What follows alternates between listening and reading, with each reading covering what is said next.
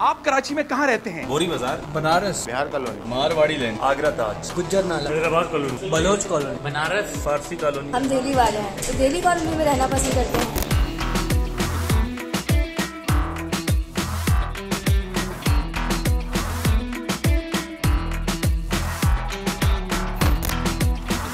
रहते कराची में लेकिन नाम सारे बाहर के। ये वैरायटी शायद ही आपको दुनिया के किसी और शहर में मिले। सेम लैंग्वेज है सेम सकाफ़त है, ये एक दूसरे को जोड़ती है। इसके अलावा एक बड़ी बात ये होती है कि आदमी अपने तहफ़ के लिए अपने जैसे लोगों में रहना चाहता है। तो जो अकलीती लोग होते हैं या उस पूरे एरिए में जो कम तादाद में लोग होते हैं, वो कोशिश करते हैं कि हम एक साथ रहें और उनके मफादात भी मुश्तरक होते हैं तो वो इसलिए इस तरह की आबादियाँ डेवलप होना शुरू हो जाती हैं।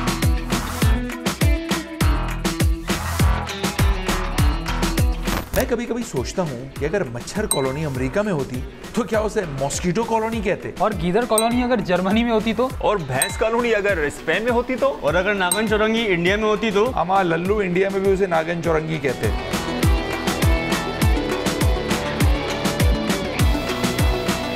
कराची में आपको पाकिस्तान में रहने वाली तकरीबन हर कौम रंग नस्ल और इलाके के लोग मिल जाएँगे। जी मैं उर्दू स्पीकर मैं क्वेटा से ताल्लुक़ रखता हूँ। मैं लाड़काना से ब्लॉग करता हूँ। मेरा ताल्लुक मेमन बरादरी से है। अमरकोट के पी के बुनेर से। मैं खाने वाल से हूँ। मेरा ताल्लुक फैसलाबाद के एक गाँव से है। रहीमिया खान से। हम बिहारी हैं लेकिन पैदा कराची में।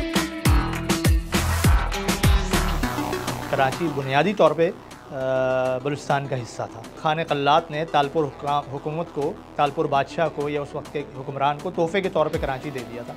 लेकिन कराची में शुरू से मुख्तलिफ़ कम्यूनिटीज़ आबाद हैं। कच्ची बहुत पुराने यहाँ आबाद हैं, चूँकि ये पोर्ट सिटी है और इसने जब डेवलप होना शुरू किया तो जो मुख्तलिफ़ कम्यूनिटीज़ गुजरात की, जो बिज़नेस कम्यूनिटीज़ हैं, उन्होंने आना शुरू कर दिया यहाँ। और ये एक तरह से controlled by business big business था।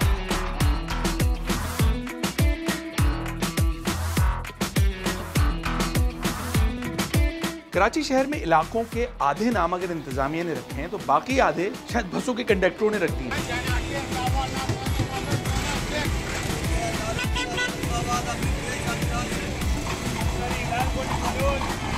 लेकिन यार, नाम ढंग के भी तो रखे जा सकते थे।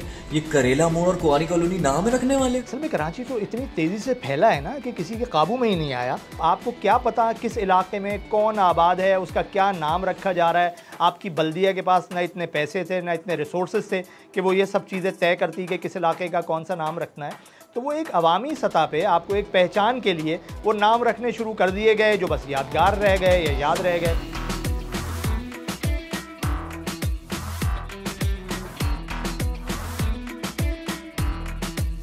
ये कराची के कदीम तरीन इलाकों में से एक इलाका खारादर है, जहाँ कायद अजम मोहम्मद अली जना पैदा हुए।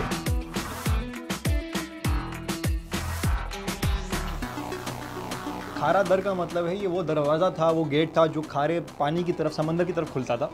तो इसका नाम ही खारा दर पड़ गया।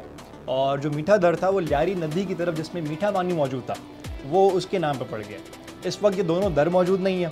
और लियारी का जो दरवाज़ा था मीठा दर वो भी गायब हो चुका है और साथ में अपनी मिठास भी ले जा चुका है तो अब सिर्फ़ खारा ही पानी वहाँ पर गोली मार में रहते तुम? गोली मार में यानी डायरेक्ट गोली मार दो कोई आसरा नहीं अच्छा ये गोलीमार अब है नहीं ये था। अब हो चुका है ये गुलबहार। वहाँ पे आपने सुना होगा गुलबहार थाना बहुत मशहूर है। है ये कि वहाँ पे थी पहले अंग्रेज़ों की शूटिंग रेंज तो जब वो शूट करते थे कि फायर करो तो वो हमारे लोकल लोगों को आपको पता है हमारी अंग्रेज़ी हमारी हुकूमत सेम जैसी है। वो समझ में नहीं आती थी। तो वो अपने एक्सेंट में बताते कि गोली मार करके मतलब उर्दू में जाके समझ में आ जाए। वो आवाज़ गूंजती थी इलाके में। ऐसे करते करते नाम ही गोली मार पड़ी। आपने ये जुमला अक्सर सुना होगा कि पाकिस्तान एक नाजुक मोड़ से गुजर रहा है। लेकिन पाकिस्तान में मोड़ नाजुक के अलावा और भी बहुत सारे। अन्ना मोड़ शफीक मोड़ करेला मोड़ यूपी मोड़ गडानी मोड़ स्टील मोड़ Qasba Mor Ruby Mor.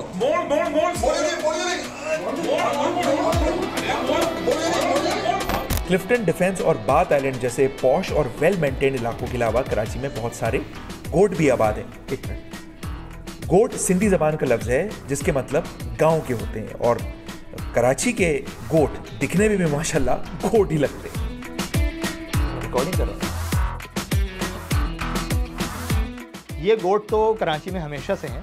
मतलब कराची जब इतना नहीं फैला था और गुरु मंदिर पर कराची ख़त्म हो जाता था तो आउटस्कर्ट्स में ये गोट आबाद थे। तो अगर आपके शहर के साथ ही गाँव हैं तो वो एक पुरफजा जगह है, लेकिन एक गड़बड़ भी हुई है। वो गड़बड़ ये हुई है कि कराची के आउटस्कर्ट्स में जो गैर आबाद ज़मीनें थीं, या जो सरकारी ज़मीनें थीं, या किसी और की मिल्कियत थी, उन पर जबरन कब्ज़े किए गए, और उन्होंने उसको भी गोट का नाम दे दिया।